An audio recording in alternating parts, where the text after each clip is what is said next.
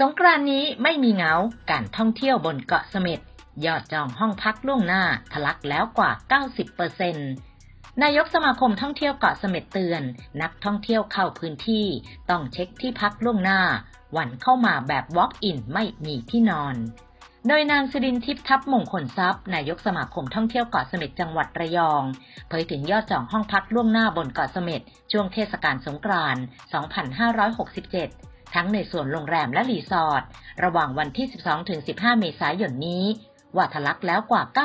90%พร้อมเตือนนักท่องเที่ยวที่จะเดินทางเข้าพื้นที่ ให้ติดต่อจองที่พักล่วงหน้า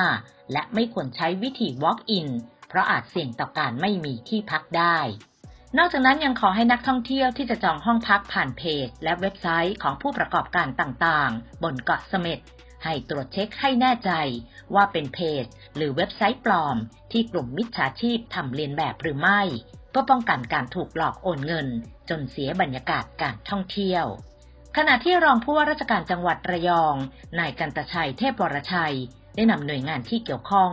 ลงพื้นที่ตรวจสอบความพร้อม ท่าเทียบเรือต่างๆ ที่จะเดินทางไปยังเกาะเสม็ดเพื่อตรวจสภาพความแข็งแรงของโป๊ะท่าเทียบเรือ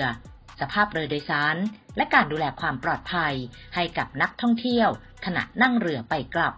พร้อมกำชับให้เรือโดยสาร ให้บริการนักท่องเที่ยว ปฏิบัติตามมาตรการความปลอดภัยที่กฎหมายกำหนด โดยเฉพาะการสวมใส่เสื้อชูชีพของนักท่องเที่ยว และขอความร่วมมือผู้ประกอบการ ให้เป็นเจ้าบ้านที่ดีในการอำนวยความสะดวก และดูแลความปลอดภัยของนักท่องเที่ยว ทั้งชาวไทยและต่างชาติ นอกจากนั้นยังให้อุทยานแห่งชาติเขาแหลมย่าเกาะเสม็ดจัดเจ้าหน้าที่ดูแลความปลอดภัย